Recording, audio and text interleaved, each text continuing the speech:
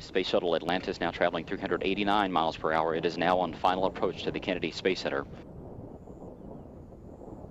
During this point in the flight, the shuttle's descent rate is 20 times steeper than a commercial airliner. Its angle of attack more than seven times steeper. Now under one minute to go in Atlantis' flight.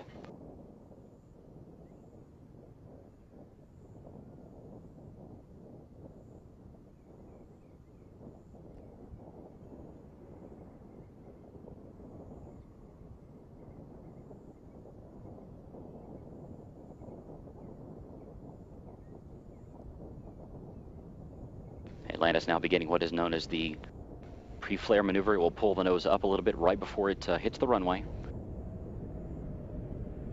Its speed now 320 miles per hour.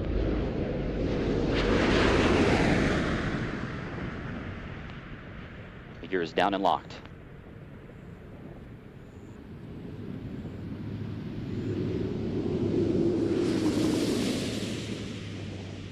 Main gear touchdown. Atlantis' nose being now rotated down toward the runway, the uh, chute being deployed. And nose gear touchdown. Space Shuttle Atlantis now comes home to the Kennedy Space Center for the final time. 25 years, 32 flights, and more than 120 million miles traveled. The legacy of Atlantis now in the history books.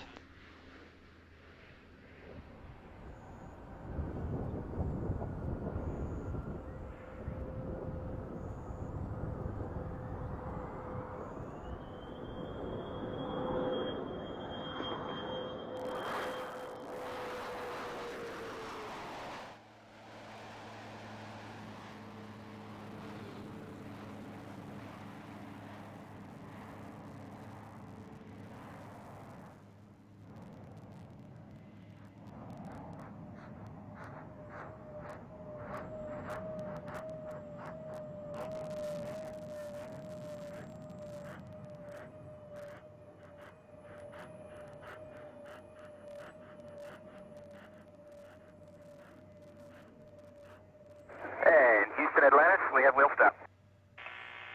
Copy wheel stop Atlantis. Hawk, that uh, landing was something that your Air Force crewmate should have really been proud of. That looked pretty sweet.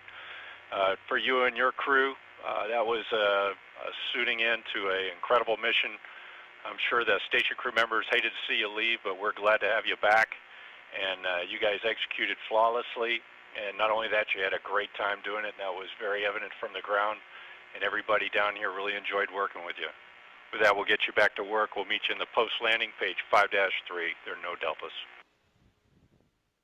Okay, Scorch, thanks, and uh, thanks to all you guys, too. We'll go over to 5-3, and uh, we'll finish up post-landing and turn this incredible machine back over to the ground teams to put her back in the barn for a little bit.